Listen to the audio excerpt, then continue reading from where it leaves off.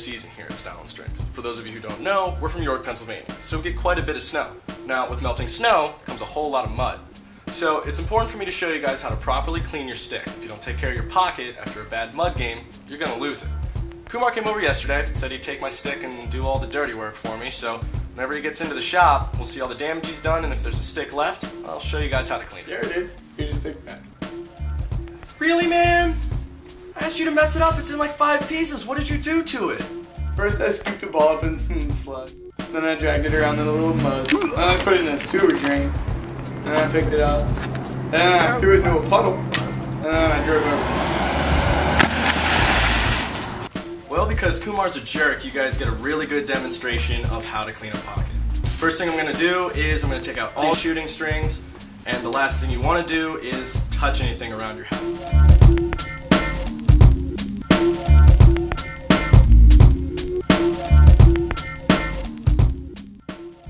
You've removed all your shooting strings, it's time to start the cleaning process. I always use dish soap, it really breaks down the mud well. But if you let your mud dry on your stick for too long, you might want to dump it into a bucket of water and let it soak for a while. It seems like a good idea to wash this in the shower, but it might make a bigger mess than you expect, so be aware of that.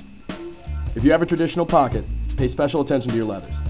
A stiff leather will actually affect your pocket more than the mesh, and they can actually deteriorate to the point where they'll break. A good trick to make your pocket dry both quickly and with good form is to use a layer of newspaper followed by a bath towel. Now shove as much of the bath towel in there as you can and try to actually make the shape of the pocket you want. After that, lay it out in the sun. If there's no sun, get a warm room and a fan. So I let this sit out and dry for a little while, and after you pull everything out, you can see that the pocket has a really nice form, and everything should be a little bit uh, closer to normal than if you just left it there without stretching it out. Now, go through, put your shooting strings back in. Uh, I have a tutorial on that uh, a few weeks back if you haven't seen it. Other than that, she's good to go if Kumar hadn't broken my stick. Now, I'm Justin Skaggs. This is the E-Lacrosse question of the week. If you got any questions, I'm kind of running out of ideas, so start tossing them to me down in the box below, kids.